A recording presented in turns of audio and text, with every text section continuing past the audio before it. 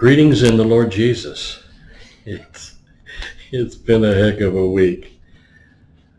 But I've looked forward to this. I every week I look forward to speaking with you.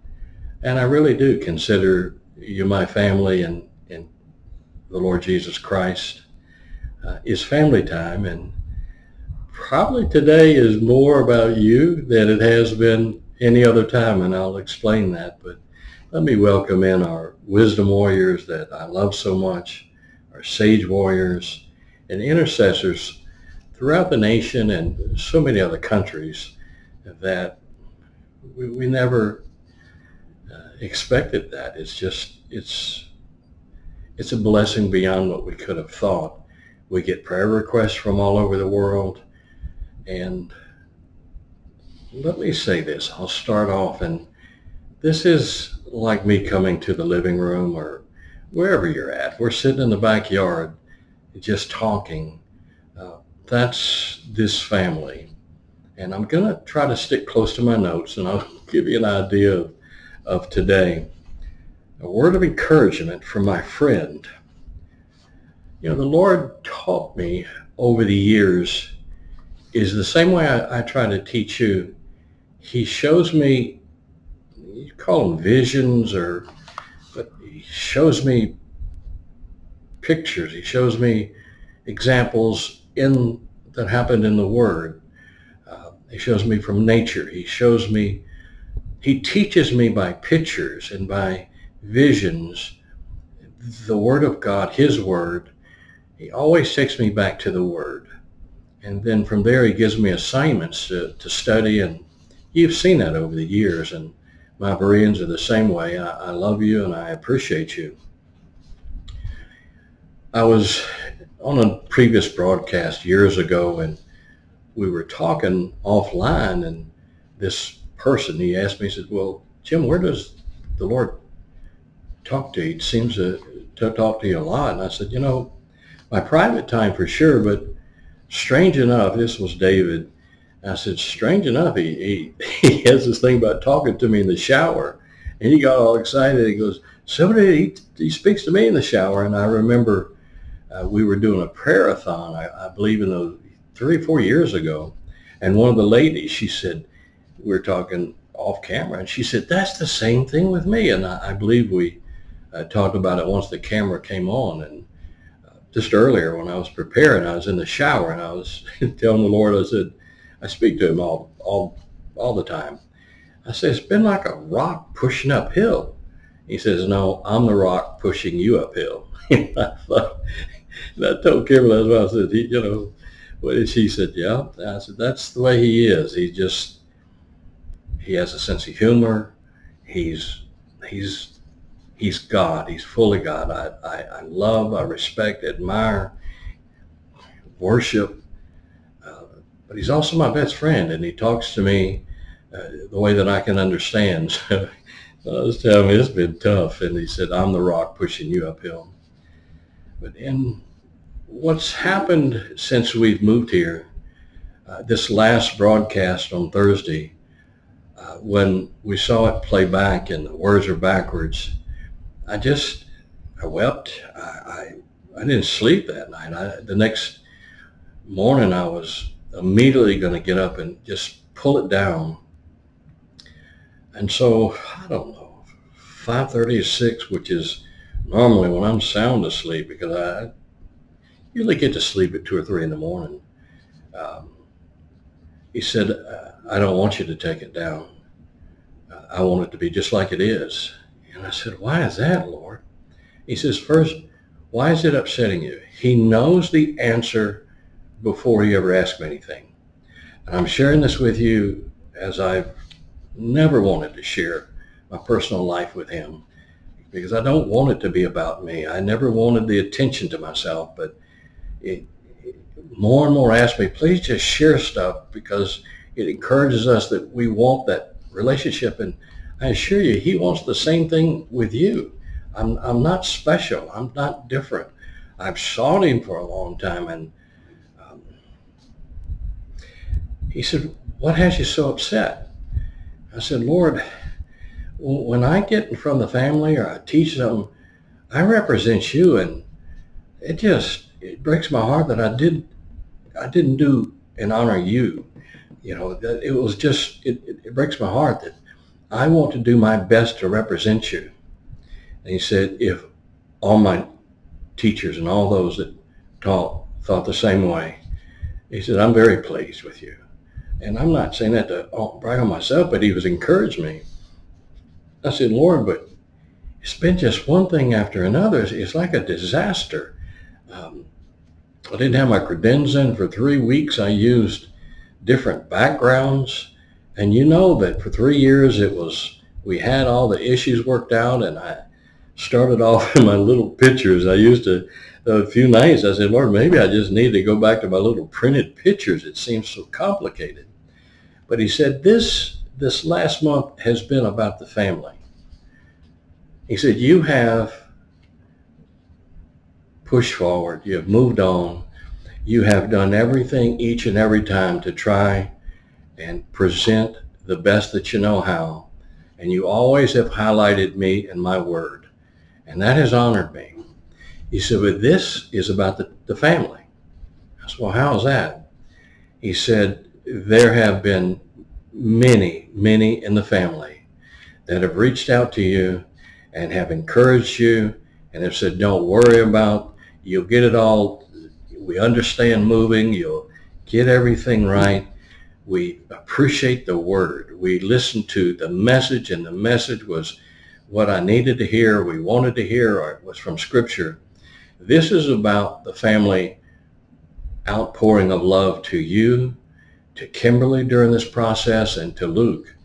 And, you know, that causes me even more to, I said, Lord, I, I just didn't want to disappoint you, and I don't want them to see a quality that's less than what you deserve. And he said, it's your heart and their heart that I'm after. And so he asked me to share that with you. And um, for those that stop watching or couldn't listen, that's your choice. And I'm not, all I'm saying is the ones that have watched and encouraged us, the Lord says this was about you. And you're looking for the word, you're listening for the word, and the words weren't right, the background, but uh, my heart is toward the Lord, and I have, and I will always be. As we talk about at night with Luke, is that I have to be the same person with him and with Kimberly here at home where no one else sees as I am uh, on camera or when I go out. And thankfully, by the power of the Holy Spirit, I'm the same person. Probably boring, but I'm the same person. So let's see how today is. Today is a special message about him. We we're going to have communion, but I'm going to wait until next week so that my bride can join us and so that Luke can join us. I will say this about Kimberly. Um, your prayers, and she said she feels your prayers. Your prayers and the touch of the Lord has been amazing. The healing process after major surgery uh, has been more than can be expected. She went back to her doctor on Tuesday, I believe, and the doctor was shocked. She said, I, I, I cannot believe that you're uh, a, you know, mobile walking and the pain is not anywhere near it is with others. Uh, and I expected pain and stuff to go on much longer. And uh, Kimberly said, well, we've had a lot of people praying for me. She said, but also, I think the, the intercessors had prayed probably more for you than they did for me, and it really uh, touched the doctor. Uh, don't know if she's a believer or not. She's brand new. I mean, we didn't even know who she was. Kimberly had never met her before her surgery, and we had to pick new OBGYN and all those things when we moved here. So it's been a battle but as the Lord said, He's a rock pushing us. So we thank His grace, His mercy, but we are so indebted and, and appreciate you. We we are very thankful during this time year. Prayer requests have continued, and thank you for those that have been faithful that continue to give during this time, even with all the craziness of trying to get this right. And today is not right, but I, I hope and pray is better than it was last week, and we'll improve it. But the Lord said, I'm aware of everything that's going on, and I'm aware of the reaction of the family. So let's see how we do. Today is about friendship. He is my best friend. I started years ago and I've studied the word for almost 50 years. When I started years ago, I never asked about thrones and angels and those things. I, I was always asking about um, how are you as a person? Uh, I think of in myself God in diapers. Uh, Mary having to change uh, his diapers, um, feeding him, and like we did, or any mother, you know, they had to walk and, and burp the baby, and uh, how they crawl, and when were their first few steps. I would visualize those things, and I would ask the Lord in those days about those things, about his life and about how he was as, as a as a, a child, a teenager, and growing up. And as I've said, what was his favorite food that Mary would make? What was his favorite project he ever made with his uh, stepfather, uh, Joseph, or once he was on his own as a carpenter? Uh, what were some of the things he made? I asked the things a best friend would know about a best friend. Um, what does he like? Uh, does he have a sense of humor? And believe me, he's he's kind of a prankster to me, but I call him Jehovah Sneaky. He has a sense of humor. All I can say is I know that's my relationship with him. He doesn't tell me, uh, buddy, I need you and the whole world depends on a relationship. That's I've heard that from others, and that's not my relationship with the Lord. My relationship with him, as I said, I'm, I'm kind of in a quandary, Lord, because you're my best friend and Kimberly's my best friend, and uh, a few months ago, he said, I'm your best male friend and she's your best female friend. I said, I'm good with that if the Son of God is good with that. So he's been my friend and he comes and talks and teaches and um, that's not a reflection on me. It's not like I'm some spiritual giant. I'm just a simple former Marine that's a Cajun that that's about it. I mean, I love him and by him and by the Holy Spirit, he's touched my heart, pulled me out of one cave and I'm in another to reach out and to, he, he's put a family around us and more joining. So friendship. But let me, people ask me about the National War Council and what's the address. I'm going to say this. If you really wanted to know our address, you can go back and look at other tapes uh, don't write, please, anymore. What is that address again? Either go back to the tapes or write it down.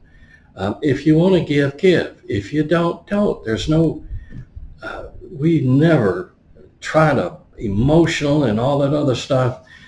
The Lord brings those and he lays on the heart of those that are supporting this ministry. He blesses them in different ways. It's not if you give $10, you're going to get $100 back and all those other things that that's not what this is about.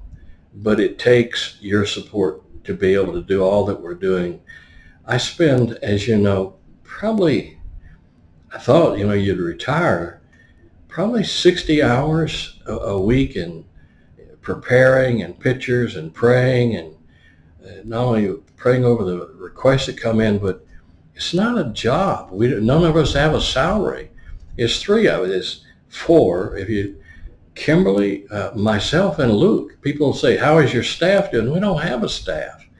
Greg is my brother in the Lord that the Lord brought to us, and he takes care of the uh, website that, and at the time with the membership, and we'll adjust to that and start posting things on it. But for a while, I just took a break on it. But Greg is phenomenal. He has his own work that he does, and he does this when he does just on a part-time basis. But none of us are on salary and, and all those things. So we look to the Lord and the Lord moves on who he wants to. And that's kind of the way it is. We don't look to any individuals, but everyone, regardless of what you give, you will receive a note back from Kimberly thanking you because that's what we wanted when we were givers that just anonymously even acknowledge that we thank you that you gave.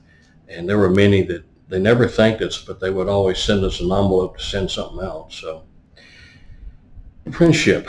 So let's, um, so that's the National War Council. For those listening by radio, Post Office Box 35915, Tulsa, Oklahoma, 74153. I think we've been here, oh, maybe a month now. And it seems sometimes like a day or two, and others it seems like it's been years. So the Apostle Paul, okay? So we're going to talk about friendship, and then we're going to move into some other areas. The Apostle Paul.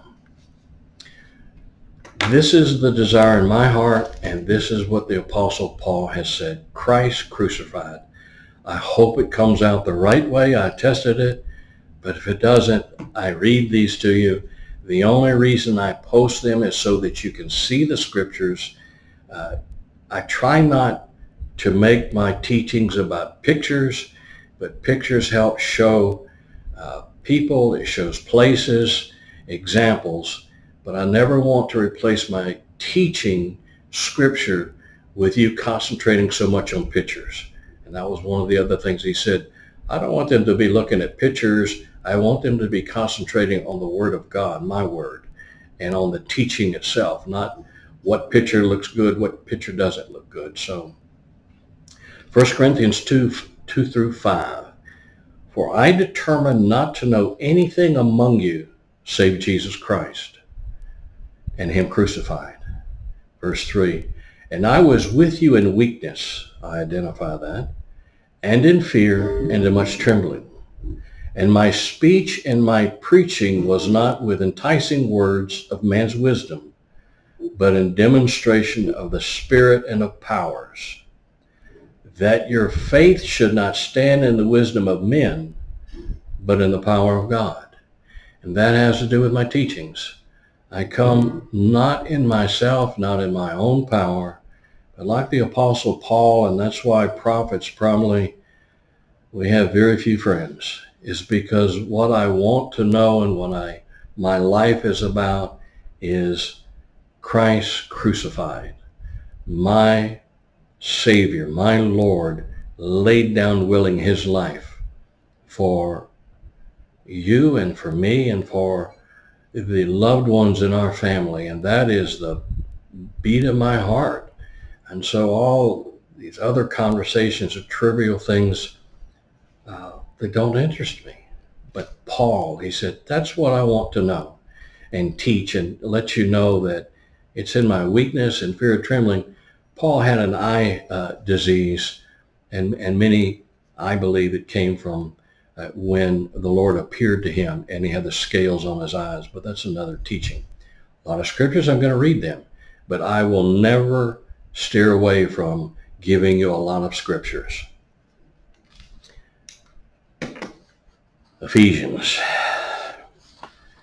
3, 7 through 21. Of this gospel I was made a minister according to the gift of God's grace which was given me by the working of his power. To me, though I am people knocking on the door, there's all around us. Uh, to me, though, I am the very least of all saints.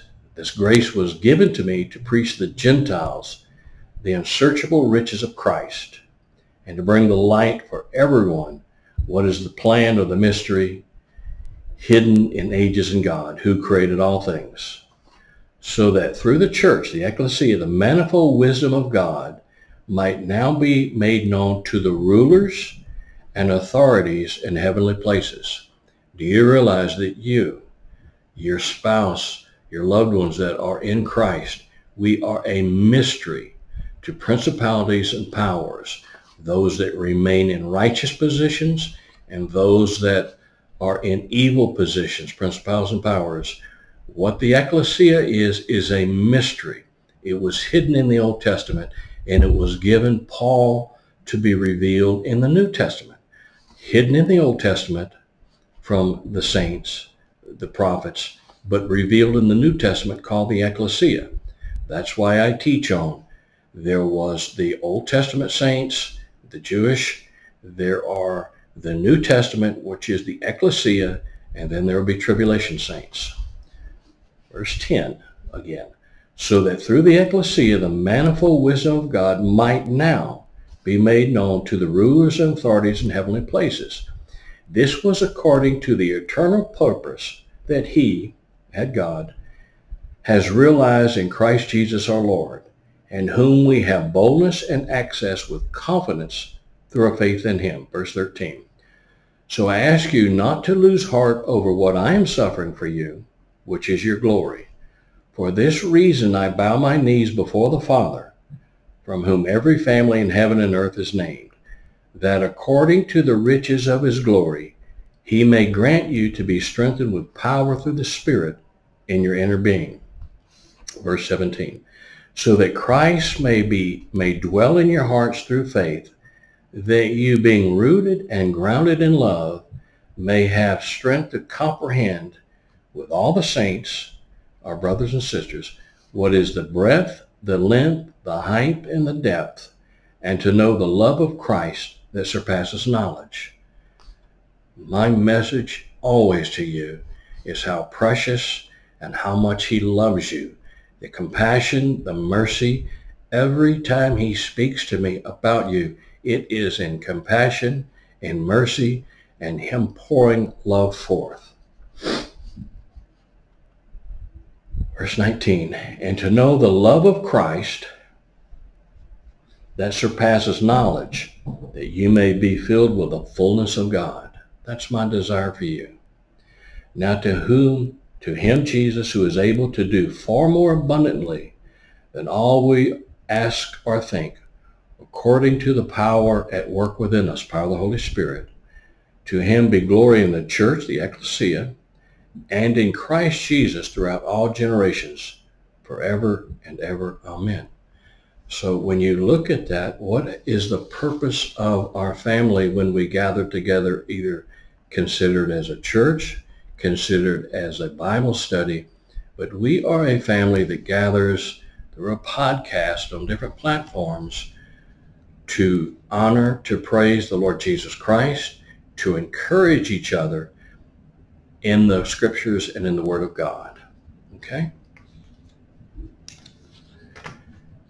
As we read quoting the Apostle Paul in 1 Corinthians 2, he was determined not to know anything among you except Jesus Christ and him crucified. He resolved himself before he preached among the Corinthians that this should be the only point of knowledge that he would profess himself to be skilled in. And that in the course of his ministry, he would labor to bring them the knowledge and understanding of the mystery. There it is, the mystery of Christ crucified, buried, resurrected, and living forevermore. That's the gospel of Christ. You know, you can go on and on, but what is the gospel according to the word and according to what Paul said, Christ crucified, buried, resurrected, and living forevermore. And we are eternal beings that will live with him forevermore. Expressed in Ephesus and Philippi, he expressed the breadth, there's again, the length, depth, and height of his knowledge regarding Christ. Yea, doubtless, Paul stated, and I count all things for loss, for the excellency of knowledge of Christ Jesus my Lord. And that's my heart, and that's the heart of this family and our ministry, and I pray that be your heart. Ephesians 3.18 and Philippians 3.8. Okay? Where I'm at on my pages. Joseph Scriven. I'm going to give you an example of a few people as we move through. I'm going to take my time. Uh, if you need to, stop the tape, watch it some more, or watch it two or three times. But hurrying through. That's the other thing. He said, I never hurried. Uh, when he was on the mountain, they were so hungry they'd listen to him for hours and hours. Uh, he broke bread and fed thousands several times. They wouldn't leave. They wanted to hear the word. So Joseph Scriven in 1855 wrote, What a friend we have in Jesus. I know that as I uh, grew up and went to Florida Boulevard Baptist Church under Roy Stockstill, that's one of the songs that I remember from years ago. But listen to his life. Joseph Scriven was born in 1819 of prosperous parents in Banbridge, Ireland. He graduated a degree from Trinity College in Dublin in 1842. Here we go. Now remember, this is the man that you'll see, what a friend we have in Jesus. His fiancee accidentally drowned in 1843, the night before they were to be married. Okay? I'll read it from here. In 1844, at the age of 25, Scriven left his native country and migrated to Canada, settling in Woodstock, Ontario. You can see it on the screen. In 1855, he received news from Ireland of his mother being terribly ill. He wrote a poem to comfort his mother called Pray Without Ceasing. Sometimes uh, a prophet, yes, but my calling I know was always intercessor. And I intercede and pray because that's just uh, the, the, gift that I know that I have. Pray without ceasing was the poem he wrote. Was later set to music and renamed by Charles Crozat, Converse, becoming the hymn, What a Friend We Have in Jesus. By 1857, he moved near to Port Hope, Ontario, where he again fell in love and was due to be married. But in August 1860, his fiancée fell ill with pneumonia and died. He then devoted the rest of his life to tutoring, preaching, and helping others. Scriven drowned in 1886 at age 66. At the time of his death, excuse me, he was very ill with fever and had been brought down to a friend's home to recover there are trials and tribulations you go through in this life. How you face them and uh, your heart and determination is important. Thankfully, we have the power of the Holy Spirit, but there are times we get frustrated, we lose hope, and yet he understands that. So I'm sharing about one individual. He went through a lot of things, and yet there's a song that I sang when I was younger that he had written as a poem. So he went to his friend's house to recover. It was a very hot night, and he may have possibly gone down uh, outside to cool down or to get a drink of cold water from the spring. His friend reported we left him about midnight. I withdrew to an adjoining room to watch and pray. You may imagine my surprise and dismay when, upon visiting his room, I discovered uh, he wasn't in there. It was empty. All search failed to find a trace of the missing man, my brother, until a little after noon his body was discovered in the nearby river, lifeless and cold in death. He was buried next to his second fiancee in her family cemetery near Bewdley. What a friend we have in Jesus, right? That word friend. We're going to talk about friends today, friendship. some of you that may know those hymns, probably some of my wisdom warriors, I'm there with you. What a friend we have in Jesus, all our sins and griefs to bear. What a privilege to carry everything to God in prayer. Oh, I started losing it. Can we find a friend so faithful who will all our sorrows share? Jesus knows our every weakness Take it to the Lord in prayer.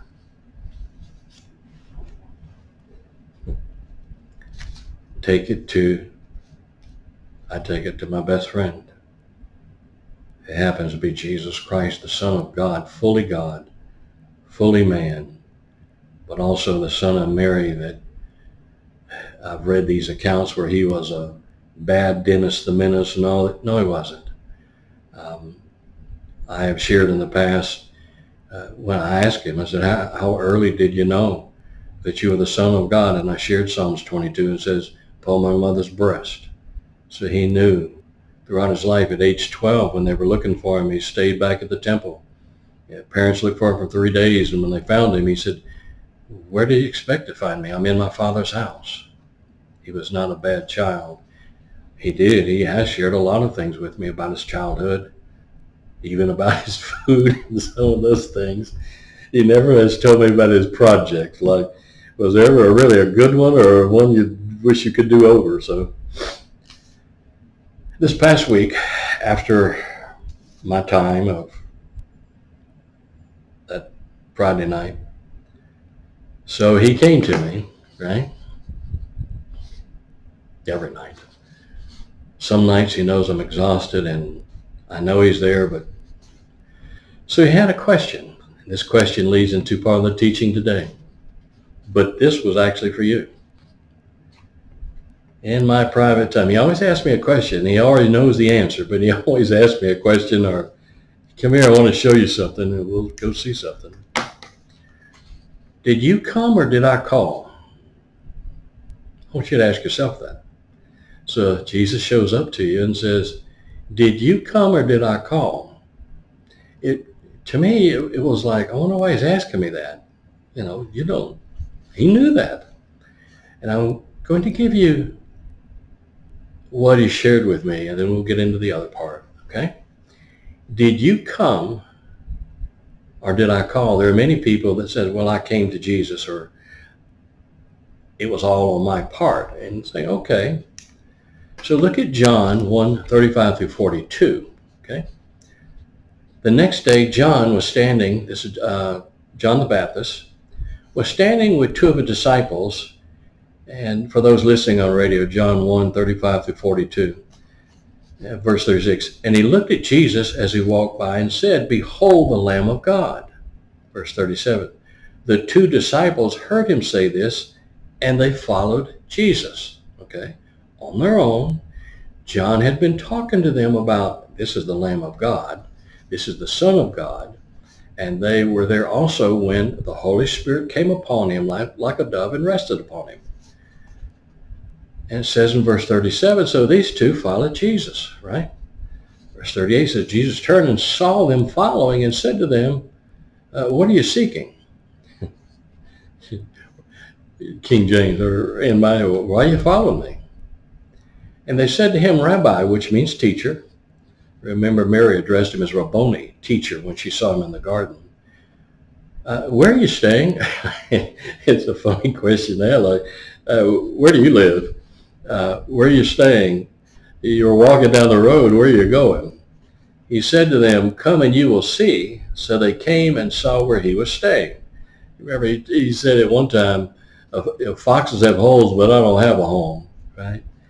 And they stayed with him that day, for it was about the tenth hour, verse 40. One of the two who heard John speak and followed Jesus was Andrew, right? Simon, Peter's brother. You remember Andrew was on Mount Olivet when they had that private Olivet discourse. It was Andrew and Peter, James, and John eh, the first time, the private briefing. And so, verse 41, he found his own brother Simon and said to him, we have found the Messiah, means the Christ, the anointed one and he knew what that would mean. Verse 42, he brought in to Jesus. Jesus looked at him and said, you are Simon the son of John. You shall be called Cephas, which means Peter. And you know when he says, upon this rock, that's rock, I will build, you know, talking about Jesus is a rock. Peter is a rock. But on this truth that Peter had found, that he is the Son of God, I will build my ecclesia. So Peter was a rock, but he was not the first pope of the of the church. Uh, he was never a bishop in in in uh, Jerusalem either, or in Rome. So the point of that, what? They followed him, right? So they made an effort to follow him. And there are many people that say, you know, it, it's kind of like I had the initiative. I went to church uh, I, list, I, I did these things. I, I, I was seeking, and it's okay. And that's all legitimate. So is this. So I wanted to show you what he was telling me though. So John 15, 14 through 17. You are my friends, right? Here we go with the friends. If you do what I command you, if you're following my word, commandments sound laborious and hard. If you follow the words and the lifestyle of Christ and want to be like him, he says, you're my friend, okay?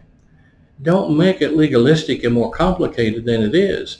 He said, if you hear my words and you want to be like me and you want to live a, a more honorable life, I consider you my friend. So when I say to you, my best friend and he is my friend, that is scripture. Don't say, oh, you know, you're trying to make yourself spiritual. I am not. But he is my friend. Okay?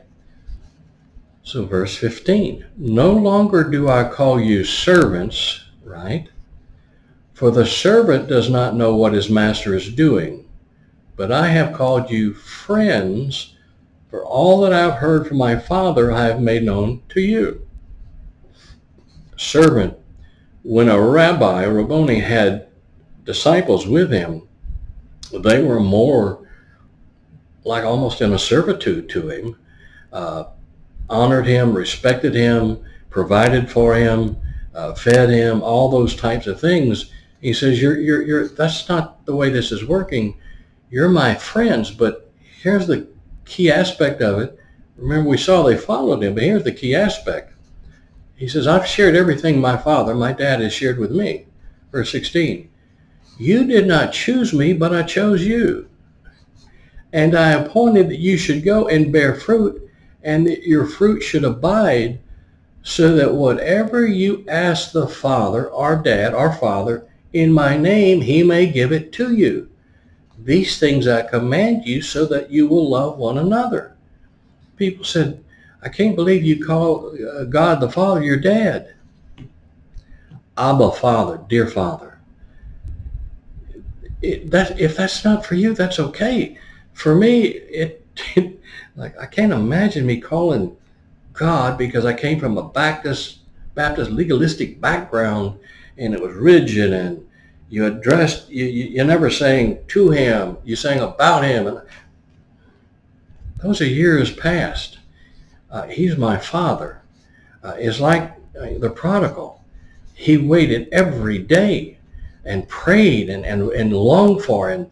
When the son returned, he ran out and met him and wept. And the son started telling him, I'm no longer worthy to be. And he said, no, stop all that. You're my son. You have always been my son. You will always be my son.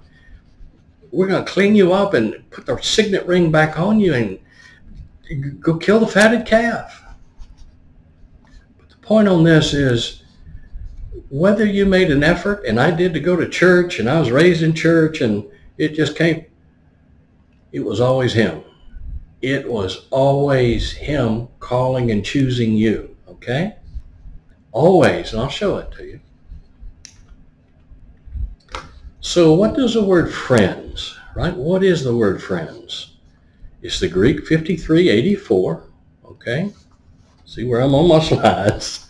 5384.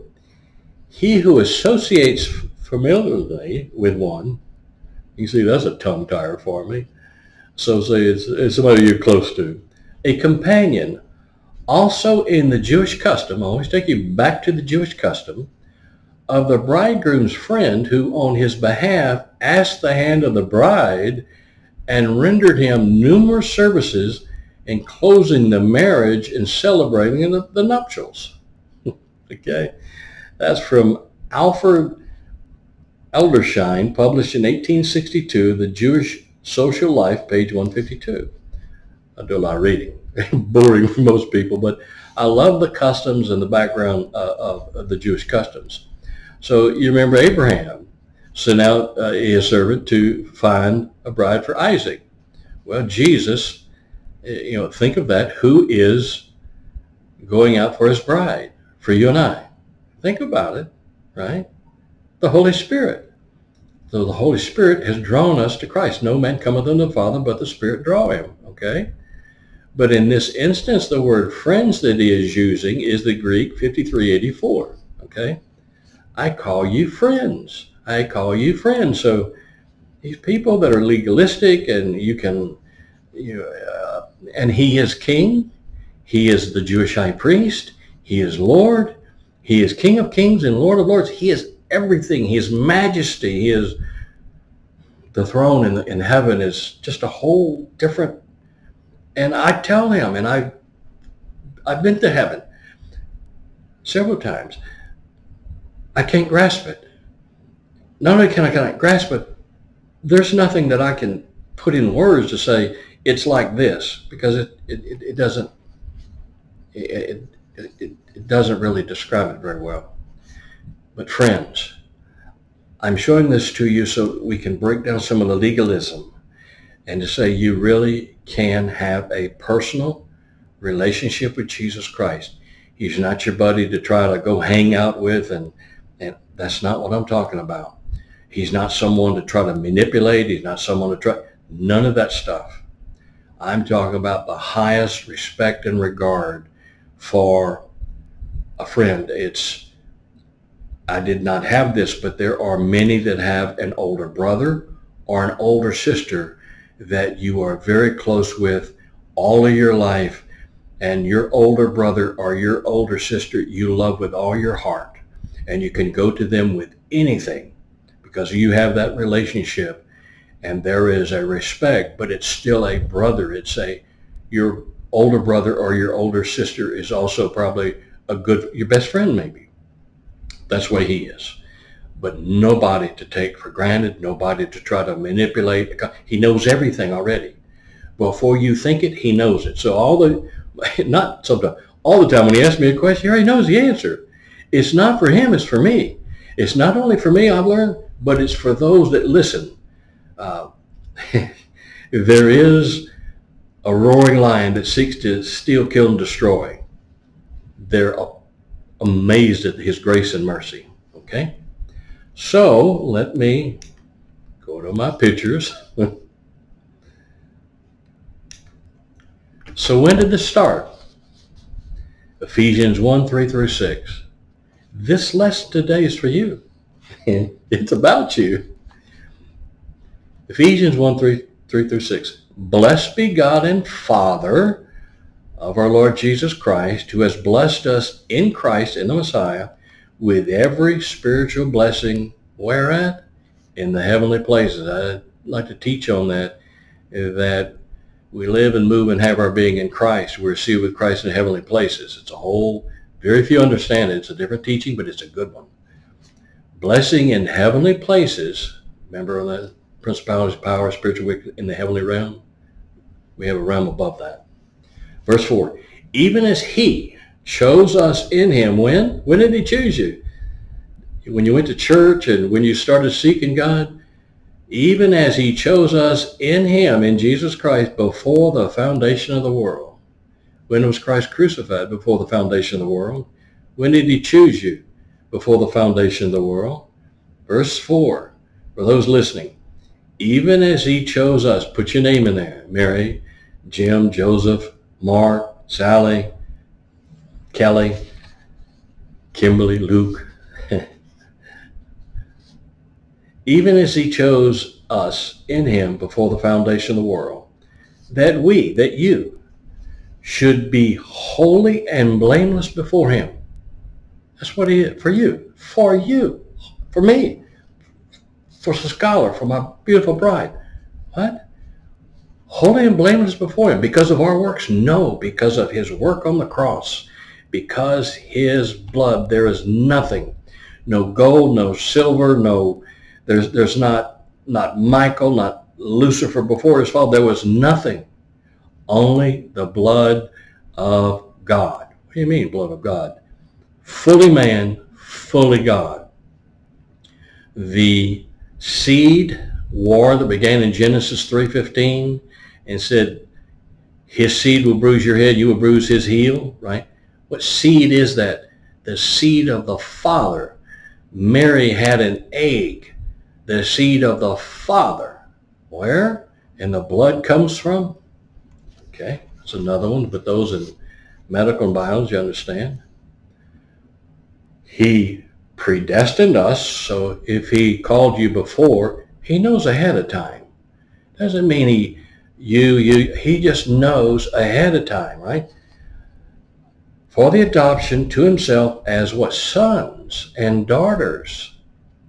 See, I'm not. You, the world tries to make it legalistic and foreign. This is not the way it is. A son and a daughter. And I, have told you before when I remember the President Kennedy and his his child in the, in the Oval Office and through the desk, you know, a little hole in it. That was his dad, the President of the United States. That was his son. But it was a father and son relationship. Yeah, he happened to be the President of the United States, most powerful person in the world at that time. So is our Father. He's God.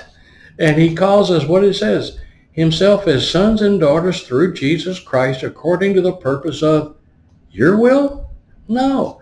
This is what he desired all along. His will. He wanted a family.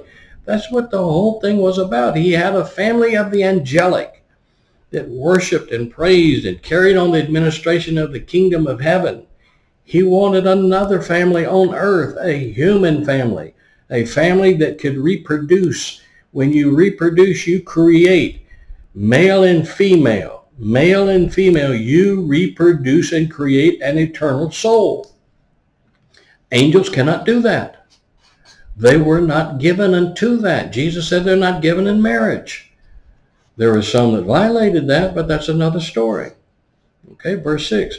To the praise of his glorious grace, with which he has blessed us in the beloved. It's all about Jesus. It's his will. It's in Jesus Christ. He has blessed us in Jesus Christ. That's who his beloved is. Okay? See where I'm at. so I'm on, okay, I'm moving through. I hope you understand. He called you. He loved you before the foundations of the world, loves you today. There is nothing you're going to do that's going to stop him from loving you. And I've heard that silly thing that if he knew me now, he wouldn't have chose me. Yes, he would have. Every time he knew back then what you were going to do today. He is all knowing. He knows whatever thing you did that the evil one keeps trying to bring to your remember. If you have sincerely, genuinely repented Ask God to forgive you and the power of the Holy Spirit to turn away from that thing. How many times did Jesus say? Peter was magnanimous and said, Lord, if the person comes to me seven times a day, not with different offenses, with the same offense. So Peter, being magnanimous, said, what if he came to me seven times? And Jesus said, let me give you some math lessons, uh, Peter. Not seven, but seven times 70. 490 is a term for it doesn't matter how many times. That's the heart, 1 Corinthians 13, of Jesus Christ, of the Father, and of the Holy Spirit. Okay? So you see friends. John 11, 9 through 14. Jesus answered, and just to give you an example, are there 12 hours of daylight? Anyone who walks in the daytime will not stumble, for they see the world's light. Verse 10. It is when a person walks at night that they stumble, night meaning in ignorance uh, of the Word of God. Uh, when you fall into sin, he gives them over to abominations and turns them over to the lust of their heart. Uh, when they are in nighttime, they stumble in ignorance. They stumble, for they have no light. Light is the Word of God, the truth of Jesus Christ. After he said this, he went on to them to tell them to give an example of friendship. It wasn't only the disciples, so I'm showing you friendship of Jesus Christ. Because people say, well, gee, he had the disciples were his friends. You can't be his friend.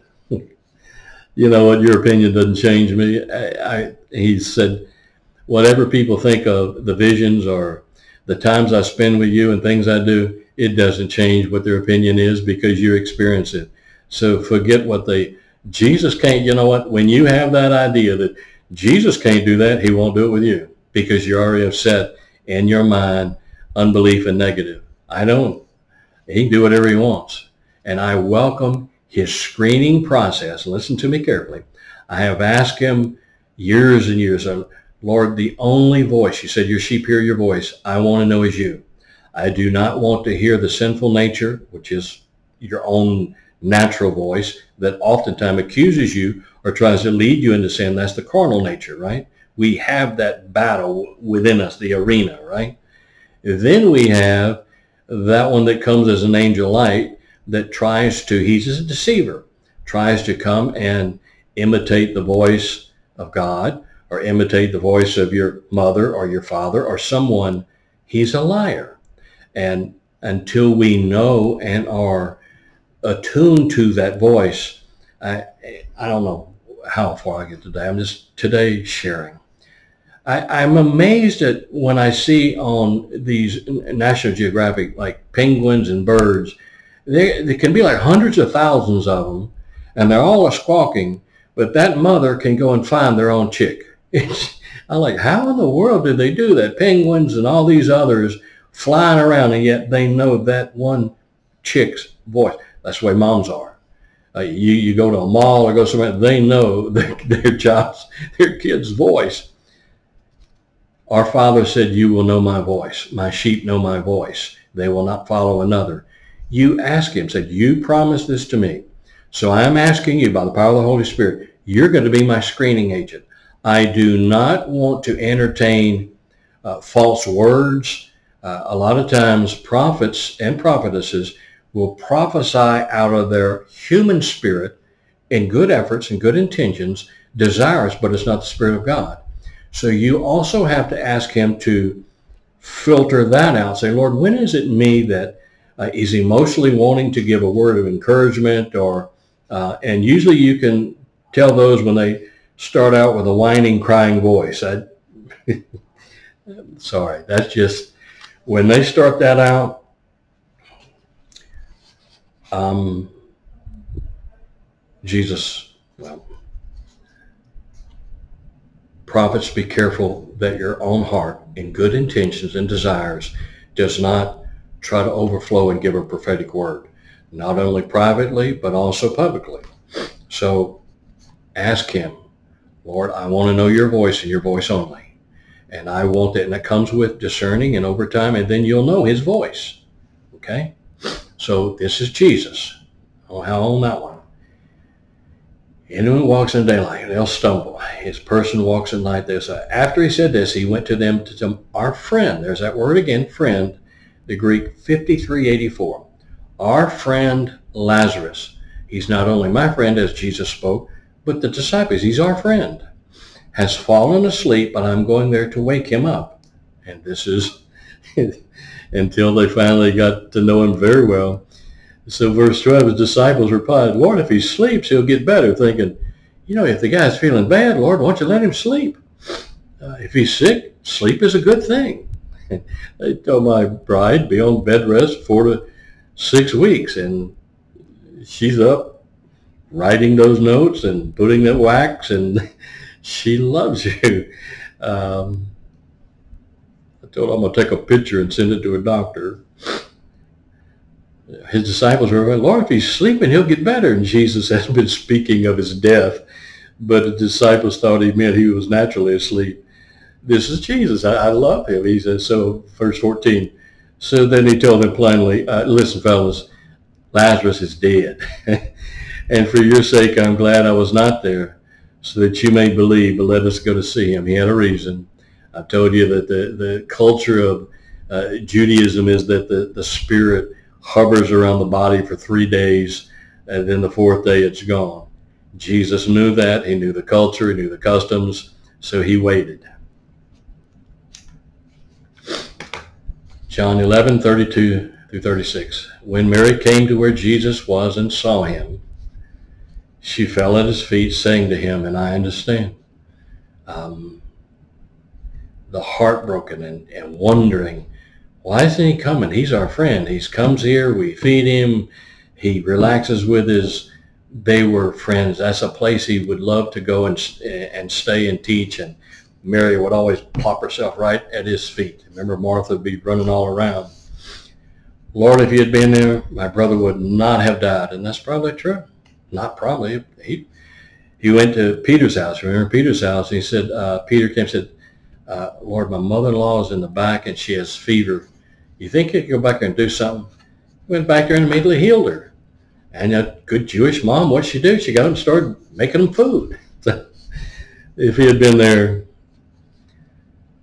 When Jesus saw her sobbing and the Jews who had come with her also sobbing, he was deeply moved in spirit. Okay, he was deeply moved in spirit, the Ruach, to the point of anger at the sorrow caused by death. I wanted you to understand that, right?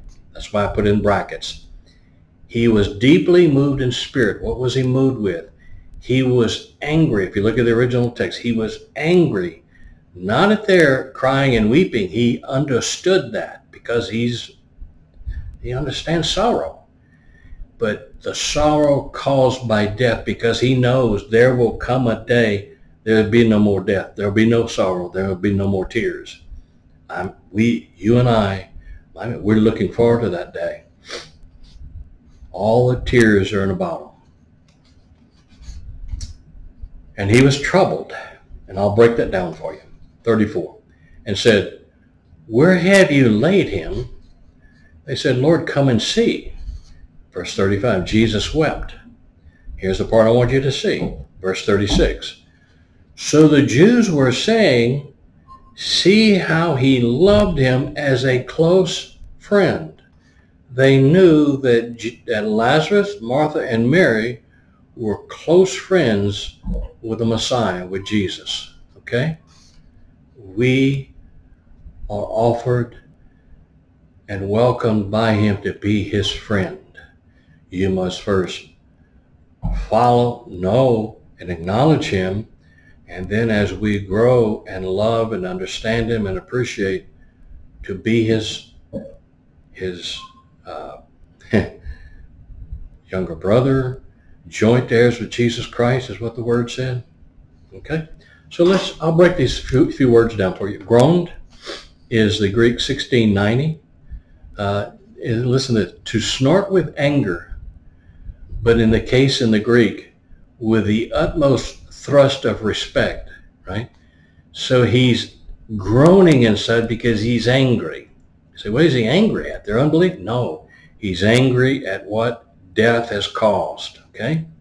And he, the whole area, the respect that he had on what was taking place. In spirit, remember I told you? Greek 4151. The pneuma. you can see it on there, but P-N-E-U-M-A is the proper word, right? In Greek. And you, uh, when you see it in parentheses, how to, how to uh, pronounce it is used to denote the seat, the locality where one does or suffers something like our spirit groans. It's the soul. I've told you that, the soul, right? Mind, will, and emotions shown forth in the tabernacle of Moses. You go into the right, the table of shewbread. To the left is the menorah, right? Spirit. Uh, light, intel, mind. And then the emotions is the altar of incense, the golden altar of incense. Everything in the holy place was gold. Outside it was brass, meaning judgment outside, inside it was gold. And he was troubled, Greek 5015, to cause one inward commotion, to take away his calmness of mind. This is Jesus. Remember, I just said he was troubled. This is, I broke it down for you. Uh, 5015, take away his calmness of mind, disturb his equanimity, E-Q-U-A-N-I-M-I-T-Y, for those who know how to pronounce real well. To disquiet, to make restless. Render anxious or distress, to perplex. He was angry at death, right? Death snatched his friend. But it was also, he was there to show the glory of God after you know, the four days, right? and I'll break, look, it says in John 12, 28 through 33. Now is my soul troubled. There's a word troubled, 5015. And what shall I say? Where is he troubled? Keep this in mind, please. Now is my soul troubled. It's Jesus. 5015. And what shall I say, Father, save me from this hour? But for this cause came I unto this hour. Father, glorify thy name. Then came there a voice from heaven saying, I have both glorified it and will glorify it again. 29. The people therefore that stood by and heard it said that it thundered. Others said, an angel spoke to him. Verse 30, Jesus answered and said, this voice came not because of me, I know his voice, that's my father. But this voice came for you, right? Because of me, but for your sake. Verse 31. Now is the judgment of this world. Now shall the prince of this world, one that was called Lucifer, that is referred to now as Satan or the dragon or the serpent of old, this, the prince of this world, be cast out. Verse 32. Now, going back to what happened with Moses in the Old Testament. If, and I, if I be lifted up from the earth, talking about the cross, will draw all men unto me. This he said, signifying what death he should die. So in John 12, he calls and says, "My, I know what I'm facing. My soul is troubled, right? And his father said, you're my son. I will glorify your name. And then he indicates what type of death, if I be lifted up. That's what he had told Nicodemus, remember in John 3. Referring back, we didn't understand all throughout the Old Testament what in the world the thing was with Moses when he put that brass serpent up. They were not supposed to make any type of replica of anything like that, much less raise it up on a pole and if a viper, poisonous viper, bit you and you looked upon that brass serpent, you'd be healed. All throughout the New Testament, there was no clue like, what in the world is that about? Jesus cleared it up with Nicodemus, and then again he says, if I be lifted up, I will draw all men unto me. The sin that has bitten you, the venomous sin, right? If you look to me, you'll be healed. Same way in the Old Testament. When they looked unto that brass, brass serpent, when they were bitten by venomous snakes and they would die, they were healed. And Jesus is saying the same thing. you you've been bitten by the sin, right? The venomous sin, you'll die, but I've made a way for you. Okay?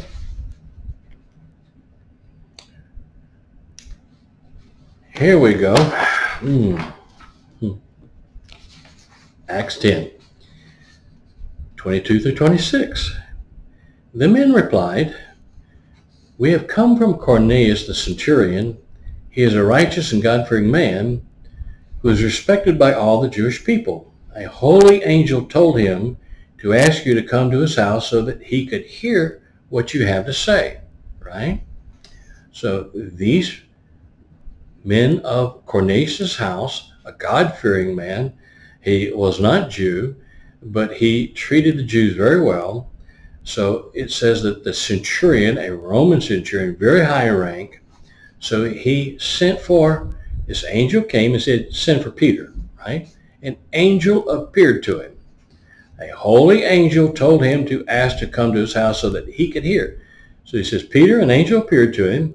He wants you, a Jew, that does not want to associate with Gentiles, who is looking at the ministry of Paul circumspect, like doubting that he really is called to uh, the Gentiles. Watch out, Peter. You're about to get a lesson. Then Peter invited the men into the house to be his guests. Say, guys, come on in. Uh-oh, he's inviting Gentiles to come in. That's not good for a Jew. The next day, Peter started out with them, and some of the believers, Jewish believers, right, from Joppa went along. The following day he arrived in Caesarea. Cornelius was expecting them and had called together his relatives and close friends. Okay? Close friends. As Peter entered the house, Cornelius met him and fell at his feet in reverence. But Peter made him get up, stand up. He said, I am only a man myself. So the two things.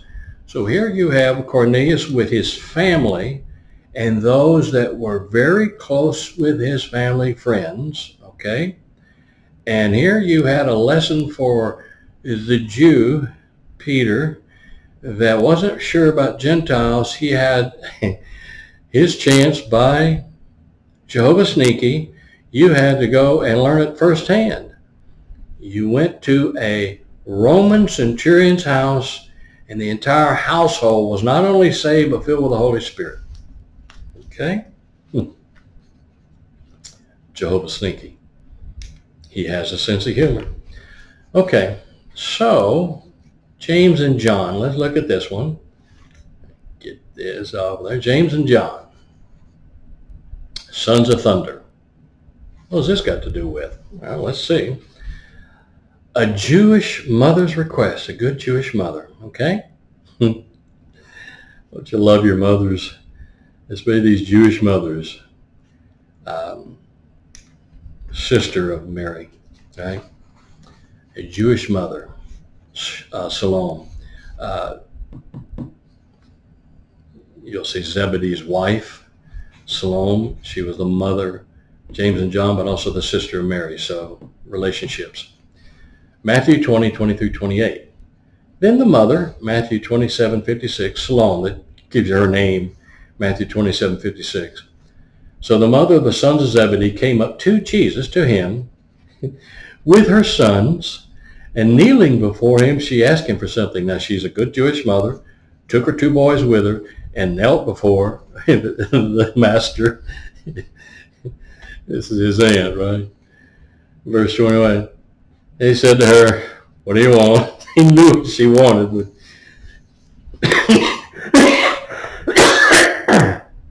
Excuse me. I'm sorry. He said, what do you want?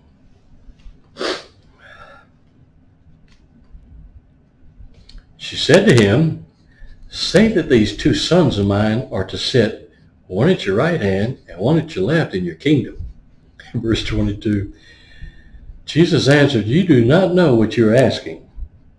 Are you able to drink of the cup? Today we're talking about a cup. That I am able to drink?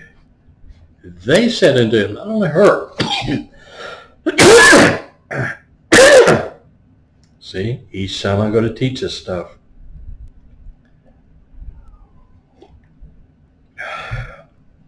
I don't cough, and will tell you any other time. My nose doesn't run. Sometimes I have a hard time breathing. It's when I do these. they said unto him, We are able. Verse 23. He said to them, You drink my cup, but to sit at my right hand.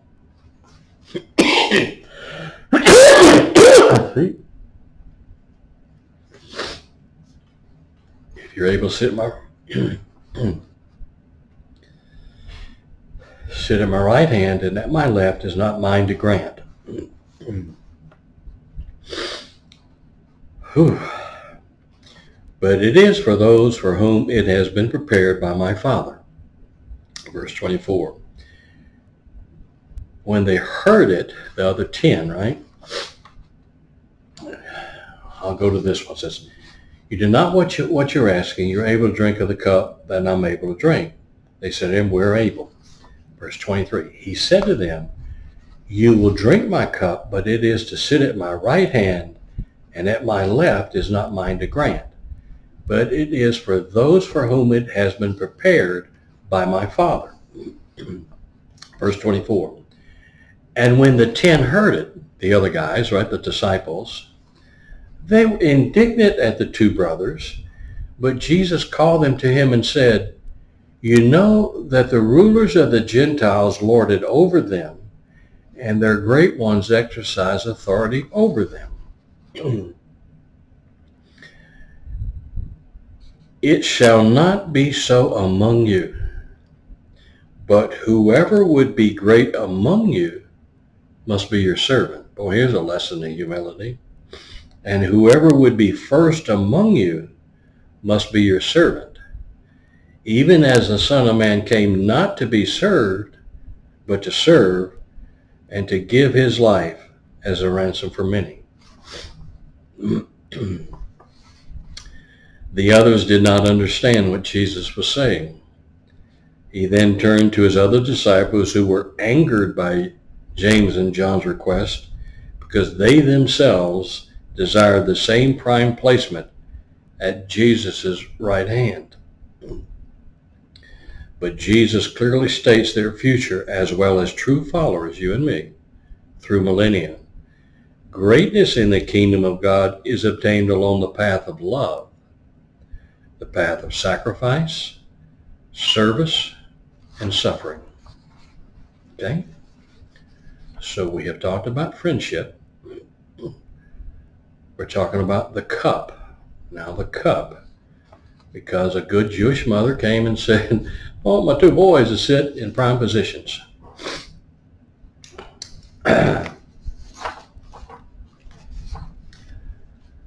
so James and John say to Jesus, grant us to sit, one at your right hand and one at your left, in your glory.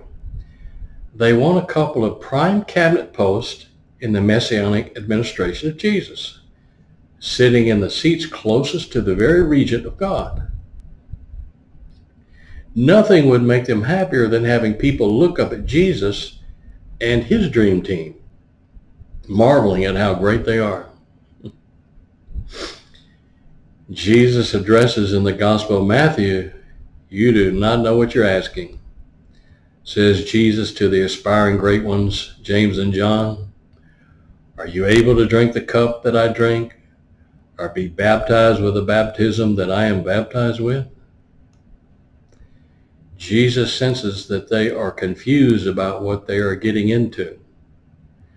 And he makes clear that the path of glory goes straight through the wilderness of suffering. Are you listening? Those who want to be first,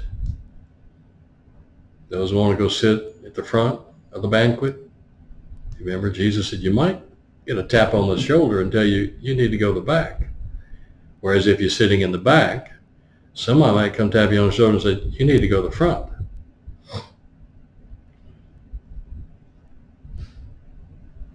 Are you able to drink the cup that I drink? asked Jesus. The cup of my blood shed on the cross for the forgiveness of sins. Are you able to be baptized with the baptism that I am baptized with? The baptism of dying and rising, one in which suffering and death always precede joy and new life. It's strange in this kingdom of God, in order to live, you got to die. In order to receive, you have to give. You have to sow to reap. In order to be the highest, you want to seek to be the lowest. The greatest, you need to go wash the feet of the disciples. John and James reply, we're able.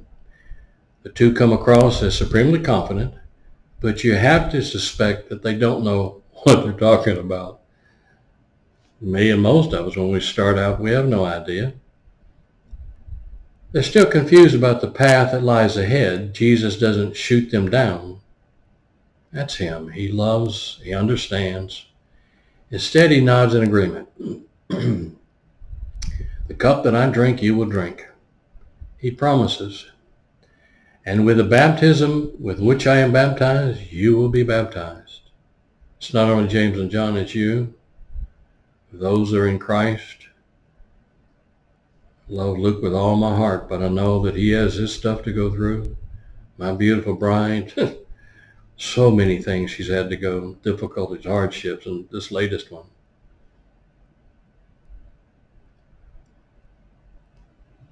The cup that I drink, you will drink, he promises, and with the baptism with which I am baptized, you will be baptized. He knows they are walking the way of the cross, which will lead to suffering for all and to death for some.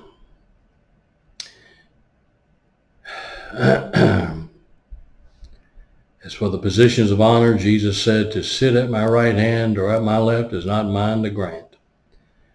Jesus can promise suffering, death, and new life to all who follow him in faith.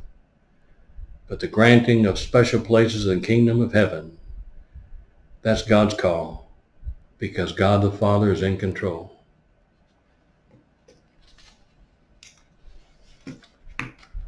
I love the sons of thunder. These guys are characters. James and John both suffered, drank of the cup.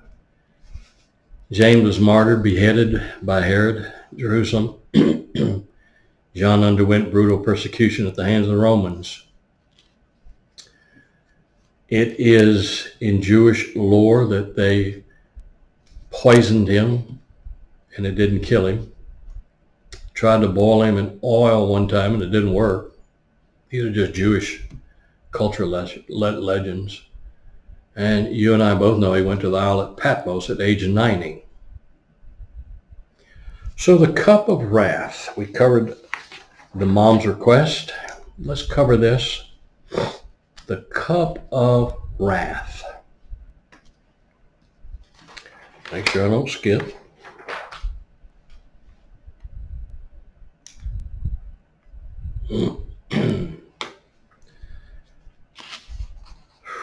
the cup of wrath.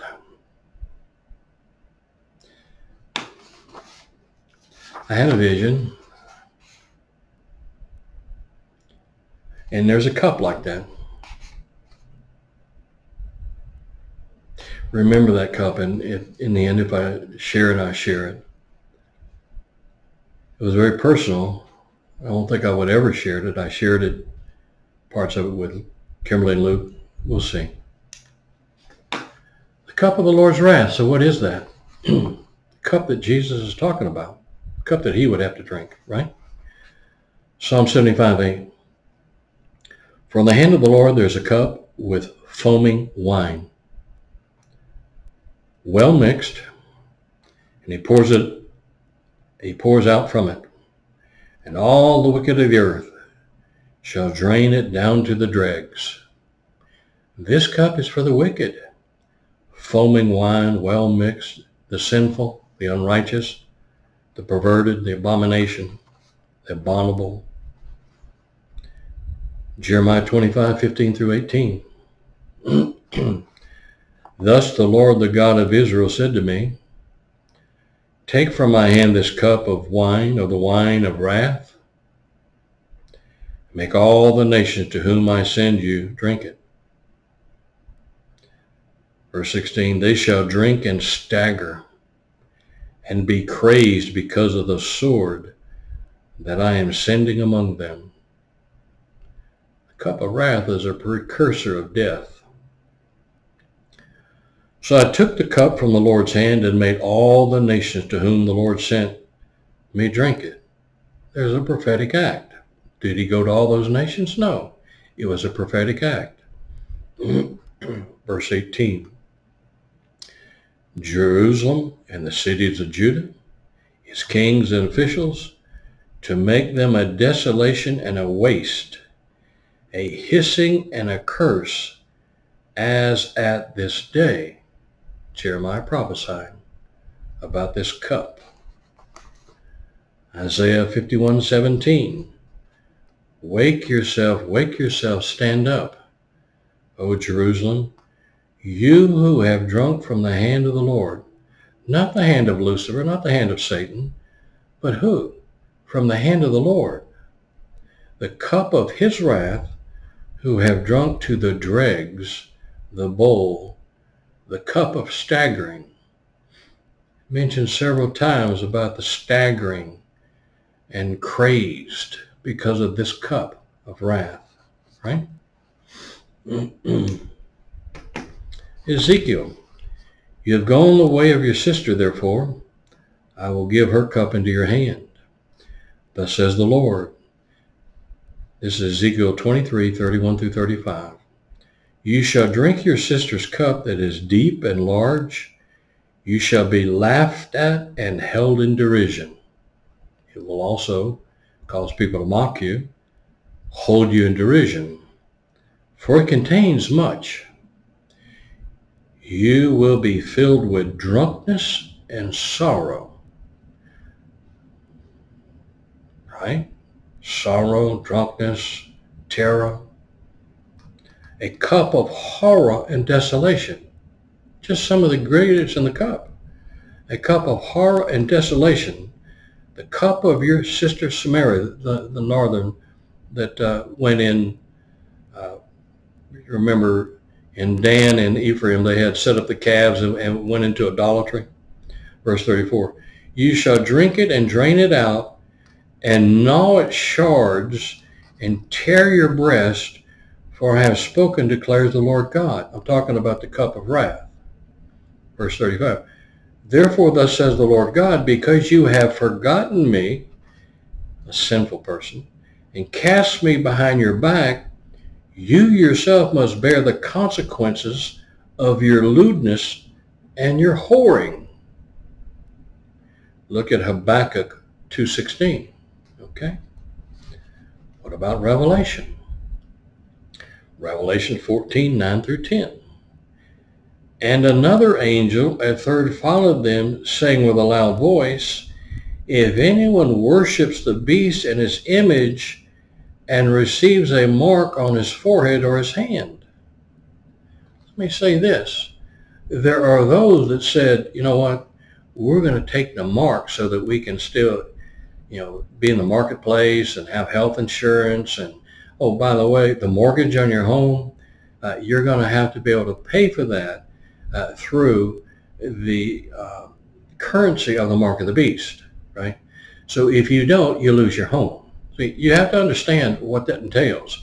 Not only the mortgage on your home, any financial transaction, medical, uh, food, uh, taxi, do you want to buy a car? All that requires the currency that will be under the Antichrist and you need to take the mark. If you do not take that mark, you won't be able to do that. So there are some who are saying, you know what, we'll take the mark but we're really not going to be worshiping the beast. L- let me tell you something. It doesn't work like that.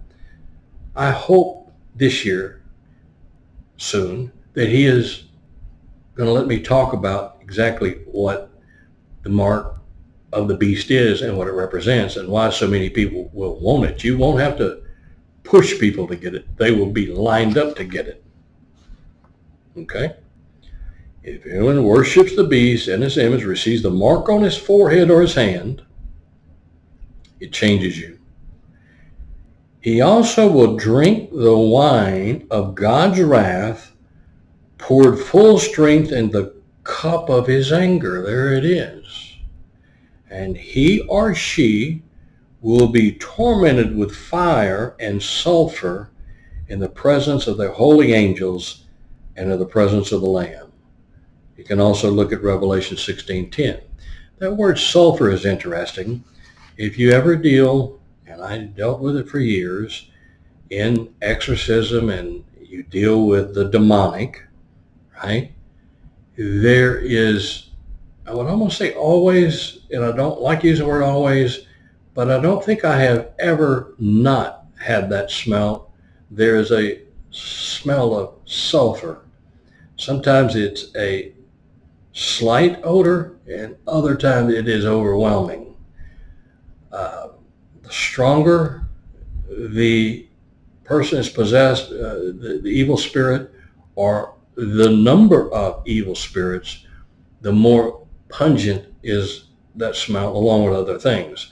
But it's interesting that sulfur in Scripture is always associated with evil spirits and uh, dark angels black magic and all those things.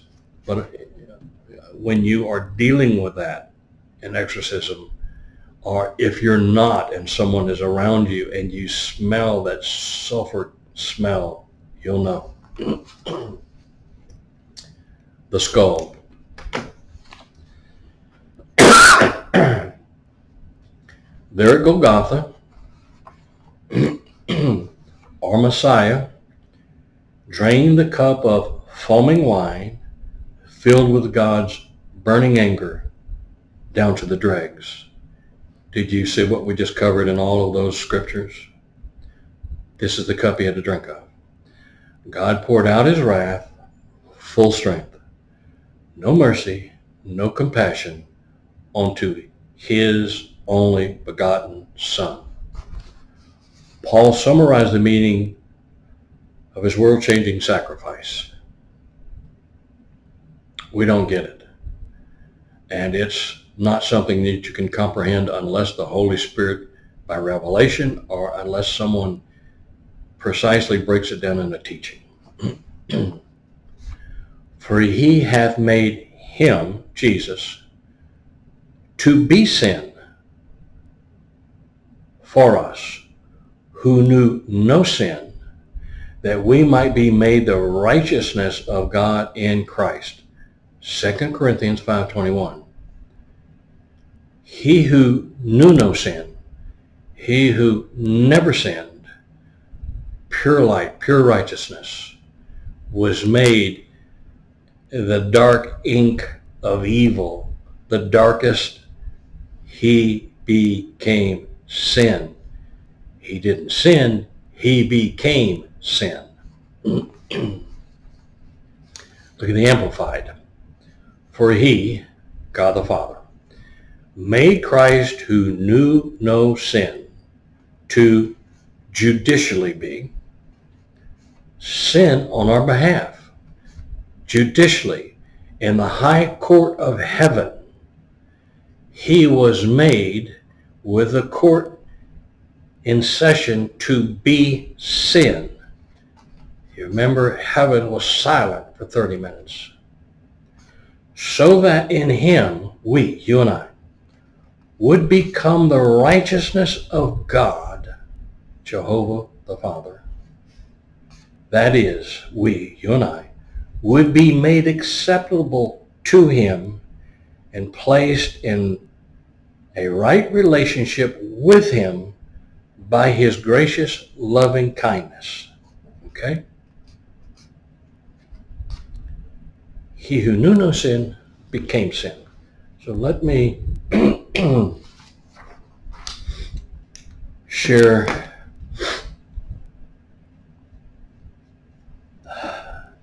from Charles John Ellicott, a distinguished English Christian theologian, academic, and churchman. this is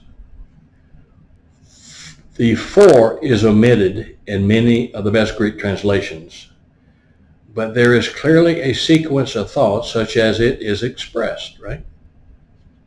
It expresses this way. The Greek order of the word is more emphatic. Him that knew no sin, he made sin for us. The words are, in the first instance an assertion of the absolute sinless, sinlessness, sinless nature of Christ. All other men had an experience of his power gained by yielding to it. He, Jesus alone, gained this experience by resisting it and yet then suffering its effects. Okay?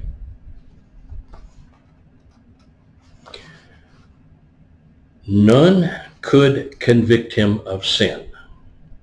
John 8, 46. The prince of this world had nothing in him. John 14, 30. Please write these down. I know my Bereans do and go back and study. You can compare Hebrews 7, 26 and 1 Peter 2, 24. And then there comes what we may call the paradox of redemption. This is Charles. He, God made the sinless one to be sin. The word cannot mean, as has been said sometimes, a sin offering, as the lambs in the Old Testament. They were a foreshadow of him to come, but it's not the same thing. That meaning is foreign to the New Testament, meaning Christ, because there was no sin offering. in Christ until his death. And it is questionable whether it is found in the Old Testament. Look at Leviticus 5.9, being the nearest approach to it. The train of thought is that God dealt with Christ not as though he were a sinner like other men, but as though he were sin itself, absolutely identified with it. In Galatians 3.13, he speaks of Christ as made a curse for us. Also remember, anyone who was on a tree is cursed, crucified on a tree. And in Romans 8, 3, as being made in the likeness of sinful flesh. I'm trying to show you what the cup entailed. Not sin like regular, a sinless, spotless, without blemish became sin.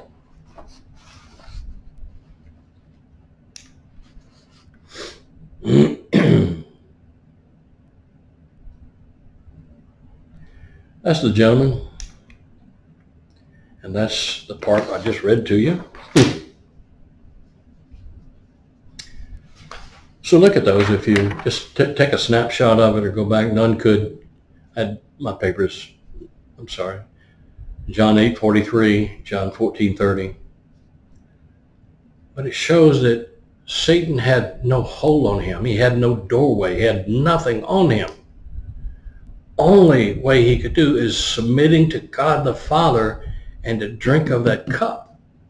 Okay?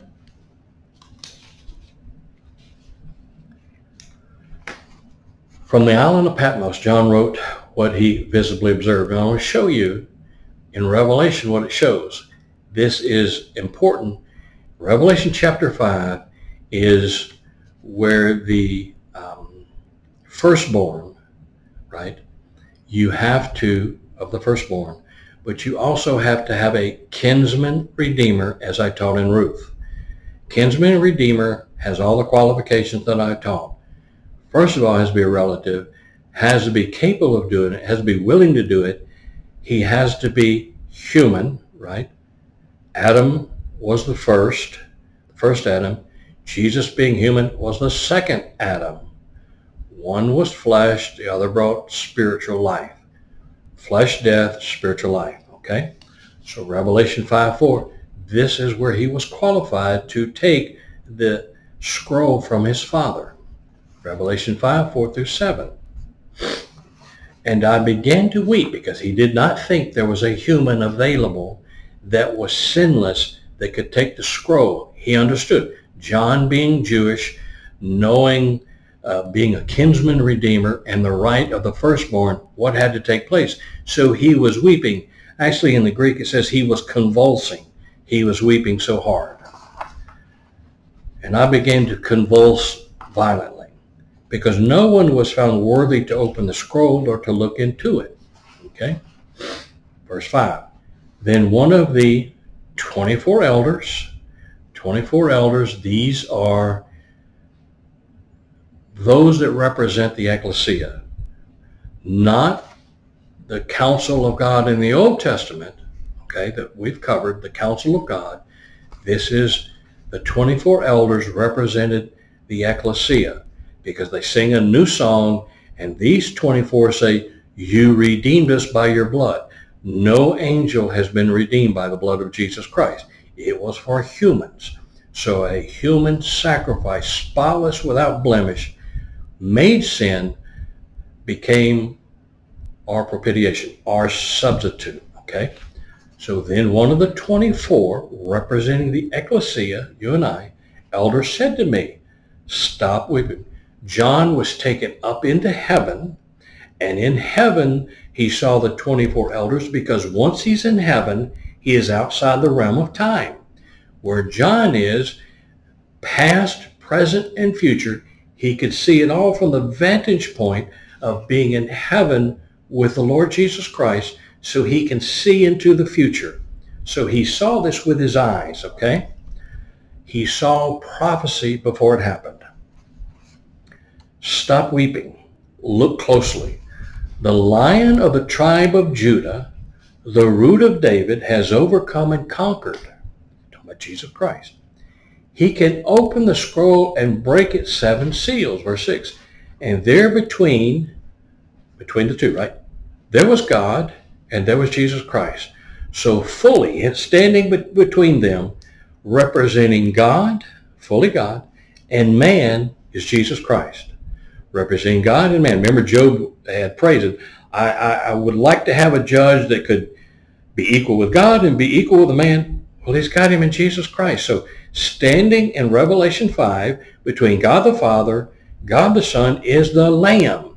the human person, fully God, fully man, so he's able to represent both and stand in between. And there between, fully man, fully God, the throne with the four living creatures, and among the elders I saw a lamb, Christ Jesus, standing, bearing scars and wounds, as though it had been slain, with seven horns, representing complete power. Seven is the number for perfection. Seven eyes, number of perfection, complete knowledge, all seeing. Okay? Which are the seven spirits of God who have been sent on duty into all the earth. And he took the scroll from the right hand of him who sat on the throne. Okay? That's the scene in heaven of Jesus Christ, the lamb that was slain. This lamb who partook of the cup. So I'm showing it to you in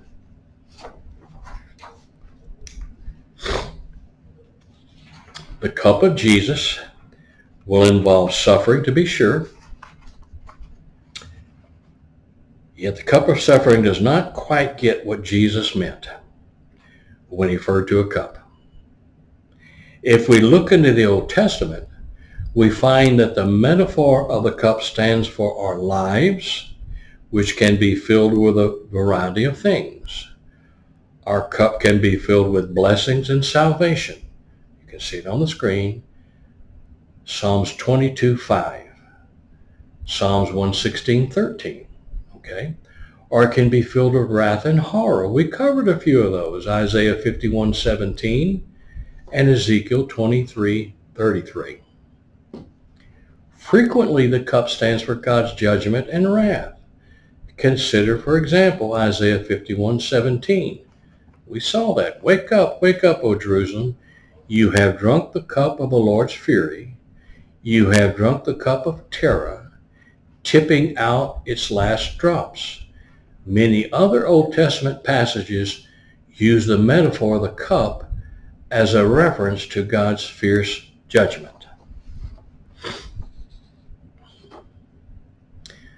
Thus, when Jesus prays about avoiding the cup, he is alluding to these images from the scriptures. He knows them. He's the Word of God. By going to the cross, he will drink the cup of God's wrath, his Father's wrath, all the way to the bottom. He will bear divine judgment that which rightly falls upon Israel and indeed upon all humanity, you and me. In this process, he will suffer horribly, both in the physical realm and especially in the spiritual realm, as he enters the hell of separation from his Father. Remember I told you it's always more real in the spirit than it is in the physical.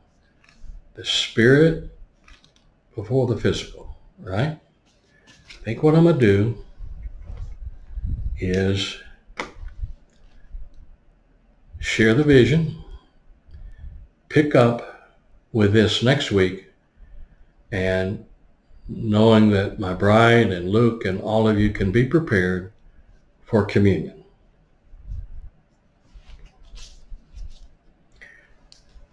Read Matthew 26, 36 through 46, and you can see it in other translations as well, of Jesus in the garden. I'm going to share the vision, parts of it, limited, but also want you to go and read and be prepared for next week and review this. This, going through all that we have, this was for you. This was for our family. When I say you, means all of us, us together. I'm never up here and it, that it's always us in a little circle together. For years, when I started out, probably after the first five years, it was after that, hard times, difficult times, and then messing up and not getting it right and just growing, you know, just that process of sanctification. I began to think, Lord, you know, if it really came down to it, I see you offering yourself for the world and other people, but if it came to me, I, I, I don't think you would have. I mean, I don't think one-on-one you would have given your life for me. I don't know if I, I don't, I never verbally said that, but in my time with him, there are, in the time spent many times, verbally he speaks to me. For years now, we just, I, I know what he says to me and he know, we don't, I don't have to verbally talk. There are times I, I miss his voice hearing it, but I know, but I don't think I verbally said that. He knows everything you're thinking. And for years I thought that.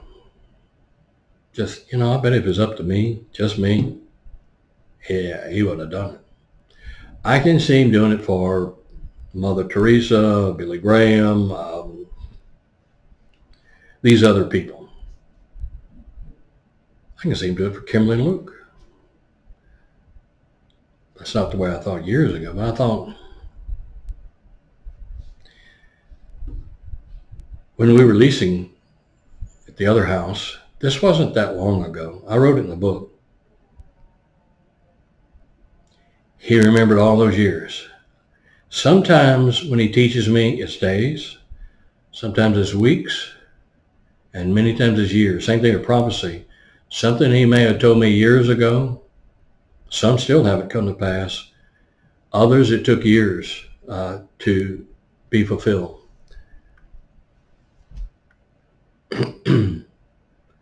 so this was maybe 30 years ago during that process. And I would think it off and on that I'd do some dumb thing, not some horrible, but just something.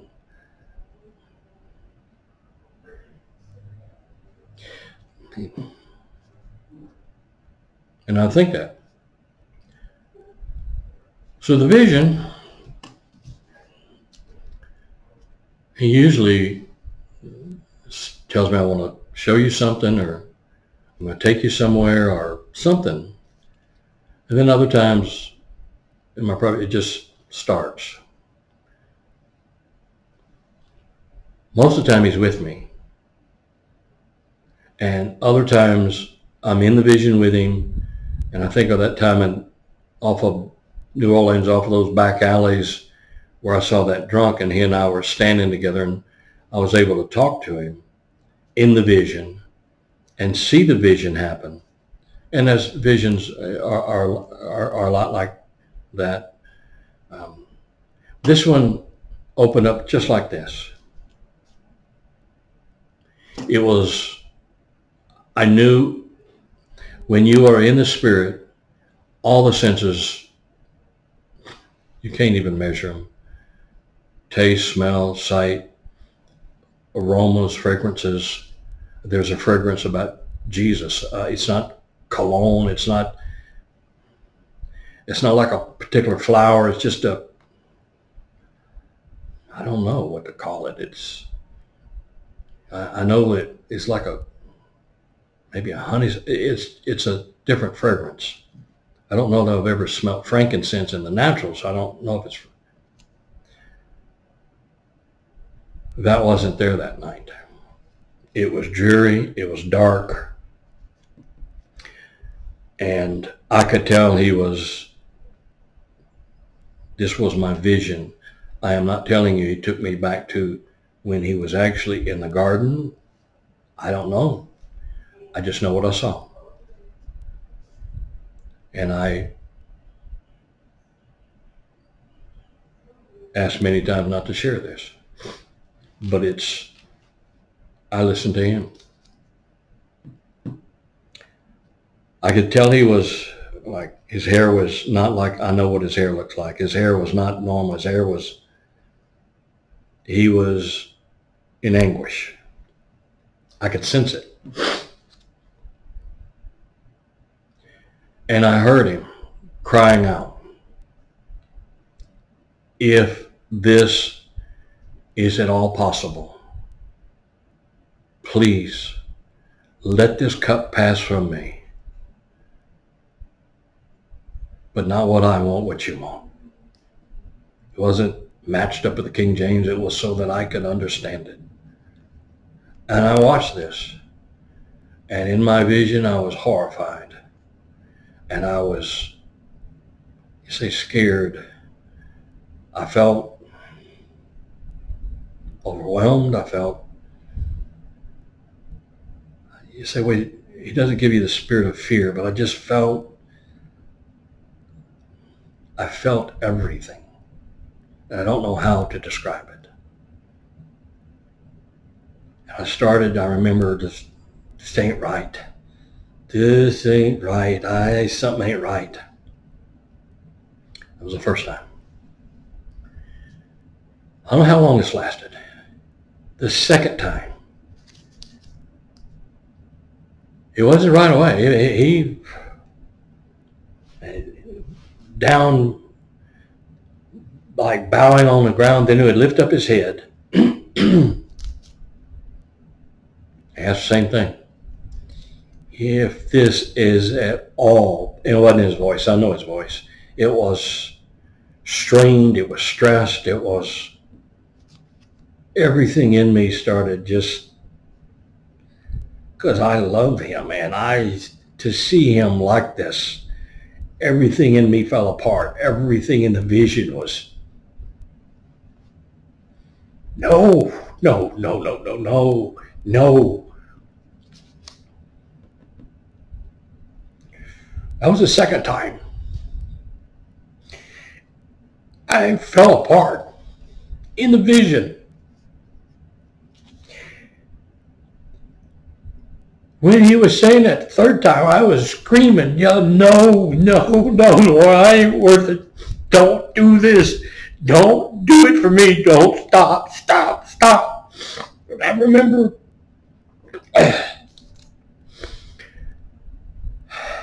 just everything in me said, no, stop this. I don't want to see this. I know I'm not worth this.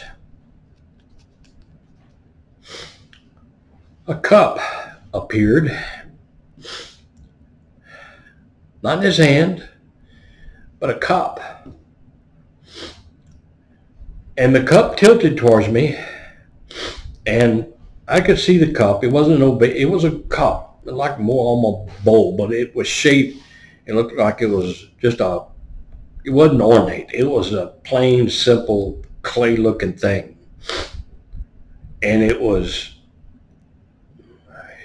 It wasn't smoking. It wasn't green.